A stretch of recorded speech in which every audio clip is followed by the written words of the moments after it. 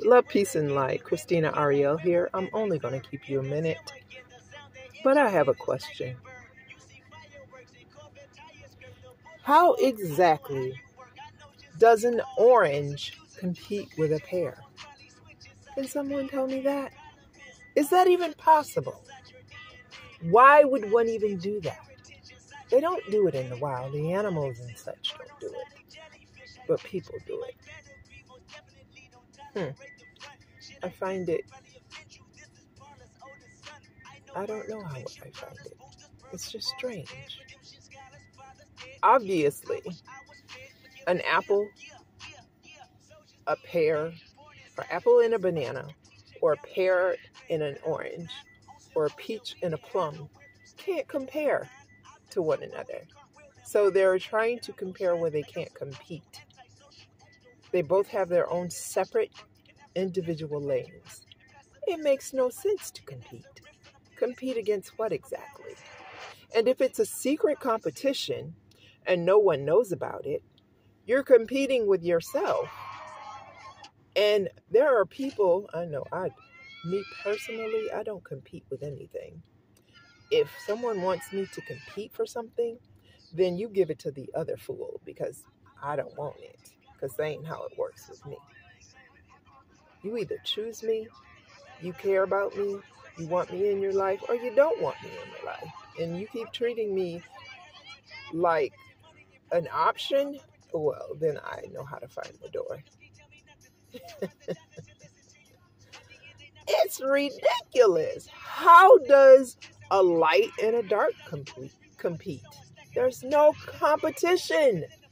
They are both in their own separate lanes.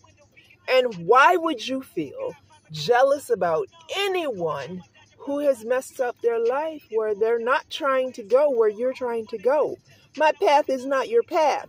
Therefore, how can I be jealous of your path? I don't want to be on your path.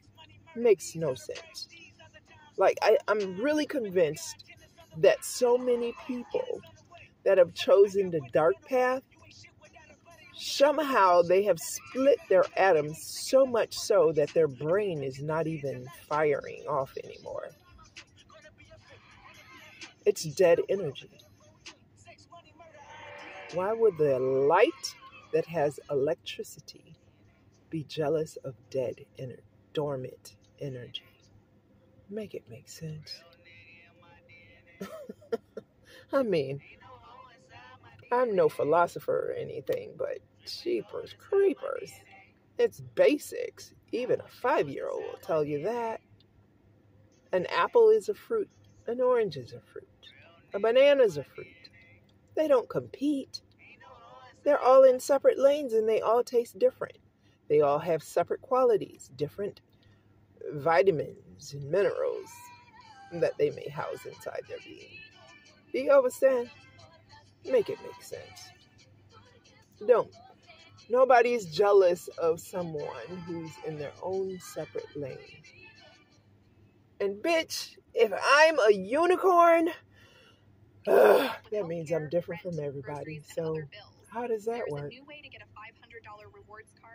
I don't think even a horse and a unicorn want to compete with each other. They probably have their own ideas about one another. They still don't want to compete. Two separate lanes. Hello. Is anybody home? Hello? Hello? Is anybody home? Maybe it's just me. Anyway, that was it. Y'all have a nice day. Namaste.